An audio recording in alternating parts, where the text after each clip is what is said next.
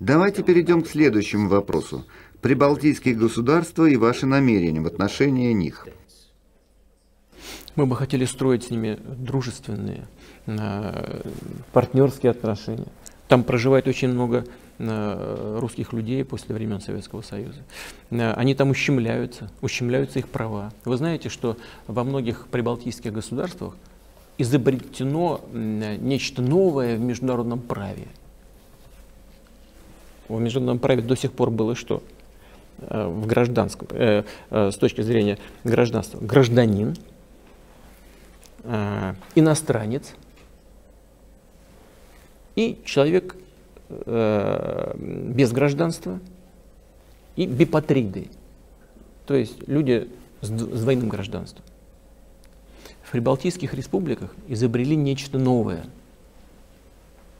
Знаете что? Называют, не гражданами называют.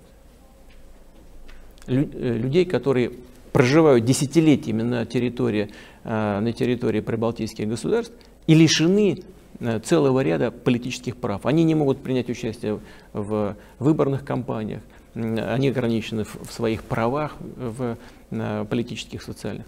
Вот все об этом помалкивают как, как будто так и надо. И, и, и, и, конечно, это не может не вызывать соответствующей реакции.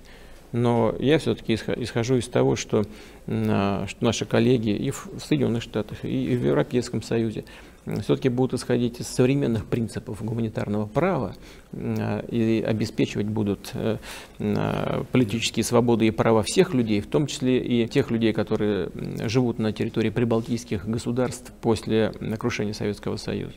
Ну а что касается там экономических связей, у нас устойчивые, очень разветвленные контакты с этими странами. А, знаете, но меня все-таки некоторые вещи меня, как бы это помягче сказать, смущают. Вот мы все говорим об э, интеграционном... Смущают? Смущают, смущают и огорчают. Вот мы все говорим о необходимости сближения позиций, о, о, о необходимости интеграции в области экономики, в политической сфере. Вот прибалтийские страны, я уже упомянул, допустим, о том, что у нас э, Советского Союза осталось общее энергоснабжение, энергосистема. Вот прибалтийские страны, они, естественно, входили в общую энергосистему Советского Союза. Теперь э, что делают? Все, все вроде говорят о сближении там, России, Евросоюза. Что на самом деле на практике происходит? Теперь из общей системы энергоснабжения бывшего Советского Союза планируется вычленить прибалтийские государства и, со, и включить их в европейскую систему. Для нас это что означает? Что мы должны просто на практике на практике это значит, что между нашими некоторыми областями Российской Федерации появляются зоны, где у нас не будет линии электропередач. Потому что раньше шло по кольцу через прибалтийские страны. И теперь мы должны будем заново, истратив миллиарды долларов, миллиарды долларов, э, заново строить эту систему. Так же, как и миллиарды долларов должны будут истратить наши европейские партнеры, чтобы включить прибалтийские страны в свое энергетическое кольцо.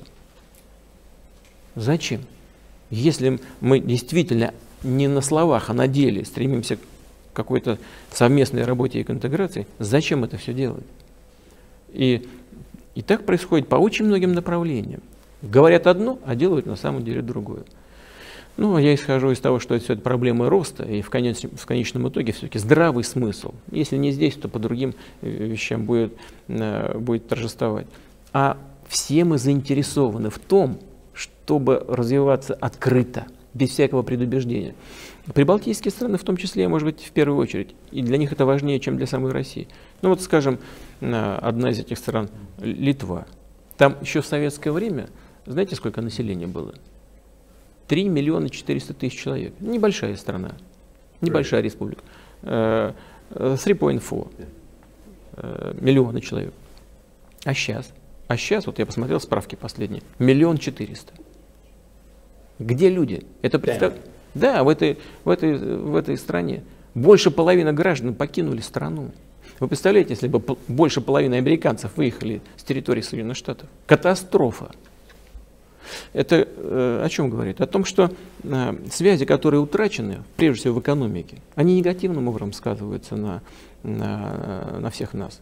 я сейчас хочу сказать и на России тоже, поэтому глубоко убежден, мы должны уйти от фобии прошлого, смотреть в будущее и, действуя на основе международного права, выстраивать добрососедские и равноправные отношения.